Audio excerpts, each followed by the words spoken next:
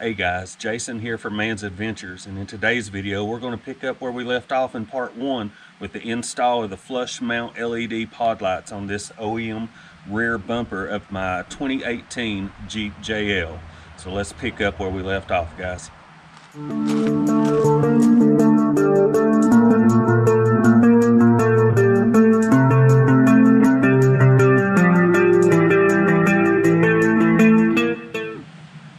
Now to get started, I've already removed the license plate. Next step is I'm gonna take these lights back out. We've got to remove some more plastic back in the bumper so I can get the right nuts and bolts in over here. I had to add temporary screws. So let's get that out and I'll show you what we're dealing with.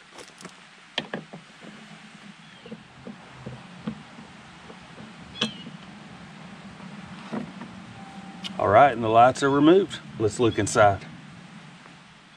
Now, I don't know if you can really tell how deep that is, but it's about two to three inches on these lights.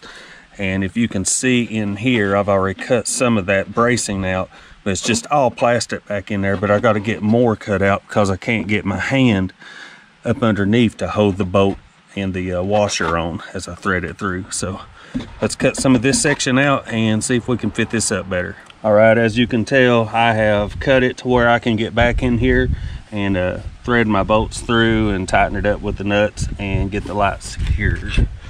So let's test fit this one last time. We're Gonna get our hose uh, bored out just a little more where we can get those in there and that's gonna be a nice clean fit. And there it is guys, all four nuts and bolts through, flush mount.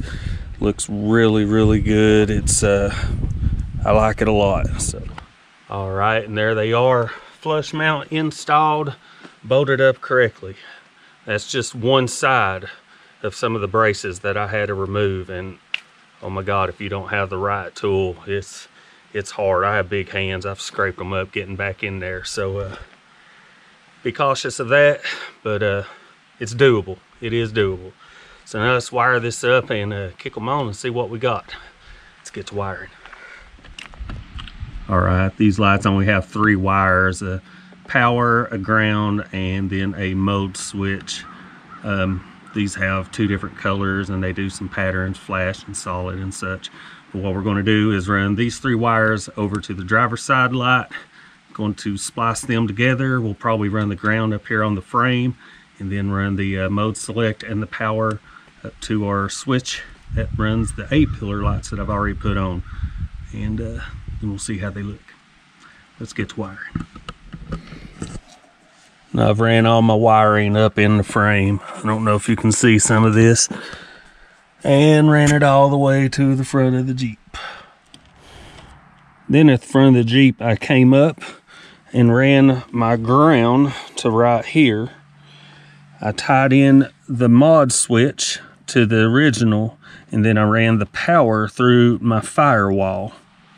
Once through my firewall, I brought it up under the dash and to my rocker panel switch box. And right there is my power. To switch modes, I have to hit this button up here, which is the original for the A-pillar lights. All right, guys, and there it is. Flush mount LED pod lights on an OEM bumper on a Jeep JL. I think it turned out pretty good. Let's turn them on and look at them.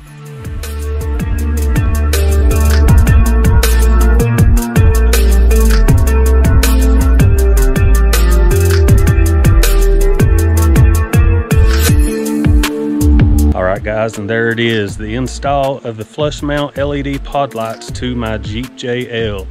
Uh, a lot of work, scraped my hands up pretty good, but uh, I'm happy with the finished product. You enjoyed this video, please give me a like down below. Be sure to subscribe, comment, let me know you watched, and uh, let me know some of the mods you've done on your Jeep. Guys, it's been Jason from Manns Adventures. God bless.